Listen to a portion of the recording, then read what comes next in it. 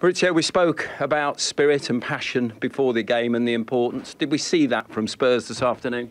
Yes, of course. Uh, we saw great spirit, fight together uh, in a difficult situation. Um, we scored with 10 men, and that is speak very highly about the, my players. I'm very happy with the effort, with the spirit, and, and I think that is the way that we need to take and keep going and being consistent. There was a lot of debate, particularly amongst some of your assistants, about the two yellow cards for Serge. What was your opinion? To be honest, I can be honest or not. Well, not, not the cost of getting a fine, because I can't afford to pay it for you. Now, obviously, under my, my opinion, when I was watching now the, the two action, I think was uh, wasn't. But you know, uh, under my opinion, but I am not referee. I am I am not uh, impartial.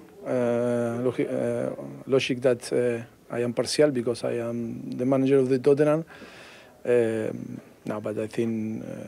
Uh, complete unfair for me, for my point of view. Eh? But uh, I don't want to justify or, or to complain about that. Uh, when I was watching now, I think it was unfair that to receive two yellow card for for Serge. The way you responded in the goal from Harry Kane is that the Tottenham that we know and the Tottenham that you like and that style of football.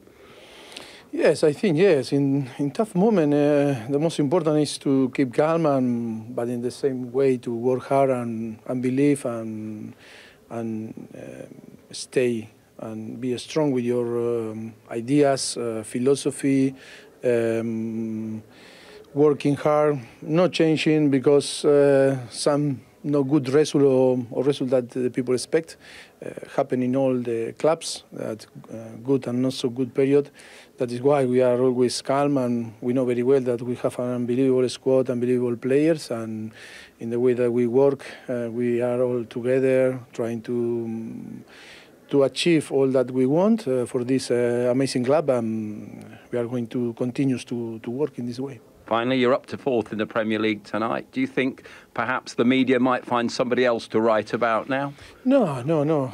No, I don't want to say nothing. Again, no one. Uh, I understand. Uh, when you create after five years uh, that perception and you put the, the club uh, all together, how we put the club in the nearly in the last stage, when you play the after five years the Champions League final, people expect that you uh, are going to be there again. And when some results are not the, how the people expect, it's normal that uh, different things start to happen. But that is football. I know very well the business.